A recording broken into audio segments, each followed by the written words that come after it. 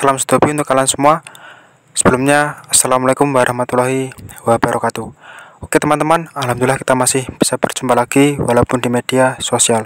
Untuk di video kali ini saya akan membahas sedikit yaitu beberapa perawatan dan juga racikan pakan ayam usia 0 sampai 5 bulan. Oke, sebelumnya jangan lupa subscribe dan mohon dukungannya agar saya lebih bersemangat dalam mengupdate terus video-video terbaru tentang seputaran dunia beraman. Oke teman-teman, saya doakan semoga rezeki kita semua diberi kelancaran, hidup kita diberi kebarokan oleh Yang Maha Kuasa. Untuk di video saya sebelumnya sudah saya bahas sebenarnya untuk racikan pakan dan juga perawatan mulai ayam baru menetas sampai usia 7 bulan. Nah, tetapi ya teman-teman banyak sekali pertanyaan dari sahabat penghobi, Bang, pakan ayam umur 3 bulan, 2 bulan dan mulai baru menetas itu apa bang? Nah di sini saya akan menjawab beberapa pertanyaan kalian semua dan di sini saya akan merangkum ya teman-teman ayam perawatan mulai dari 0 sampai 5 bulan.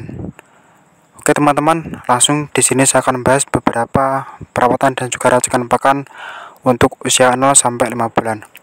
Untuk yang pertama, ketika ayam baru menetas ya teman-teman mulai 0 sampai 1 bulan cukup dikasih pakan kering ya teman-teman yaitu full pur murni yang penting ayam dikasih minum dan juga jangan sampai telat.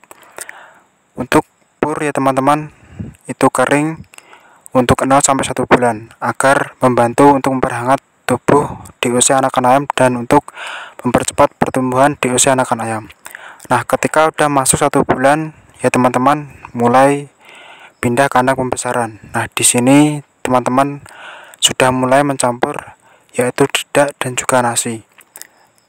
Dicampur menggunakan pur tadi ya teman-teman, dikasih pagi dan sore.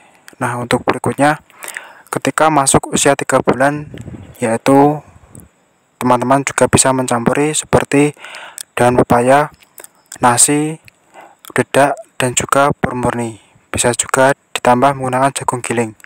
Ini sangat bagus sekali untuk membantu mempercepat pertumbuhan DOC anakan ayam tersebut. Nah, oke teman-teman. Untuk perawatan berikutnya ketika masuk usia 4 bulan, teman-teman harus memperhatikan yaitu perawatannya ayam dikasih kandang box ya teman-teman. Yang tadinya di liar itu harus dikasih kandang khusus untuk pembesaran.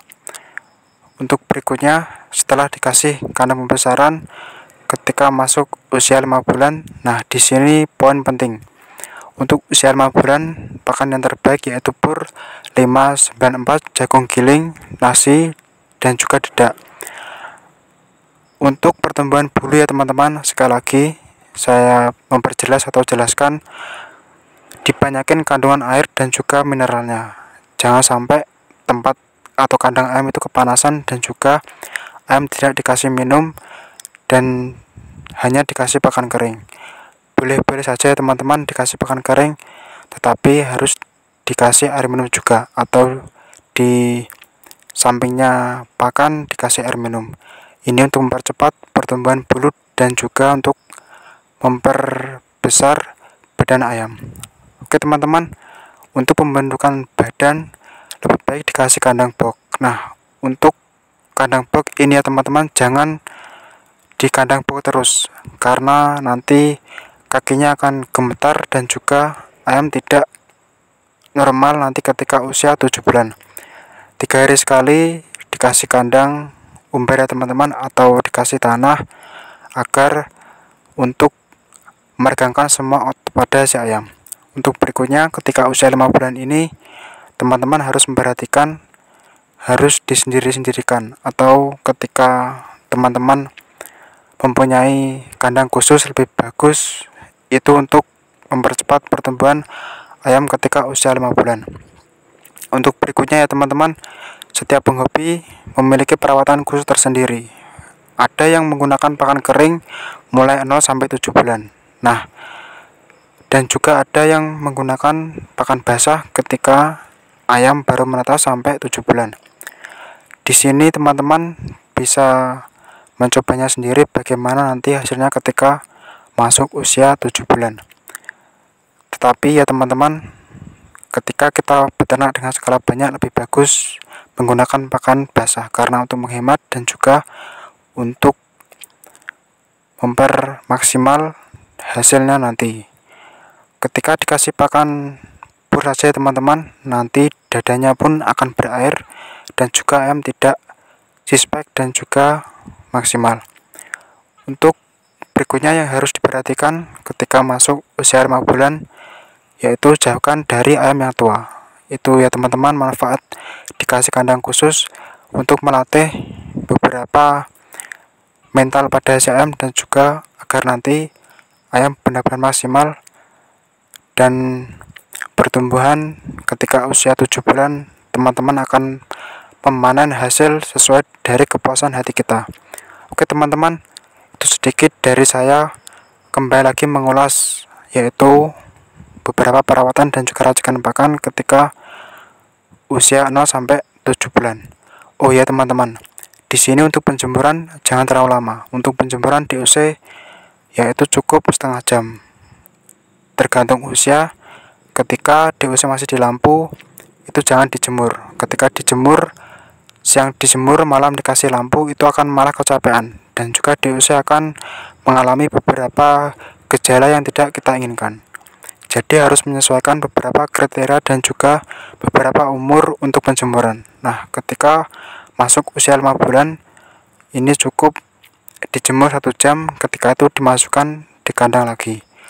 Oke teman-teman untuk 5 bulan cukup dikasih kandang box ya teman-teman agar pembentukan badan itu benar-benar maksimal dan juga hasil maksimal oke Sekian video dari saya kali ini. Semoga apa yang saya tanyakan memberikan inspirasi dan juga memberikan manfaat bagi kalian semua. Oke teman-teman, sekali lagi mohon dukungannya jangan lupa di subscribe. Nantikan video-video terbaru dari channel ini. Nanti saya akan bagikan pengalaman saya dan juga perawatan untuk pembahasan peternakan dan untuk menghibur kalian semua. Ya teman-teman semoga channel ini berkembang dengan baik. Nanti saya bisa sharing nanti saya akan buatkan video semenarik dan juga sepengalaman saya. Nanti saya akan berkunjung di beberapa peternakan saya dan nanti teman-teman pasti ingin melihat beberapa koleksinya. Nanti saya akan menghibur dan nanti saya akan mereview satu persatu teman atau peternakan di teman saya. Dan nanti saya akan ngevlog ya teman-teman. Pokoknya ikuti terus ya teman-teman. Nanti saya akan membuat video semenarik dan juga pengalaman saya. Oke sekian video dari saya. Semoga video kalian menghibur menginspirasi dan juga bermanfaat bila kurang jelas bisa ditanyakan oke teman-teman ditulis di kolom komentar sekian dari saya bila ada kesalahan atau yang kurang jelas mohon dimaafkan sebesar-besarnya. Salam stopi, salam sukses untuk kalian semua, salam bahagia, salam sejahtera. Terima kasih. Wassalamualaikum warahmatullahi wabarakatuh.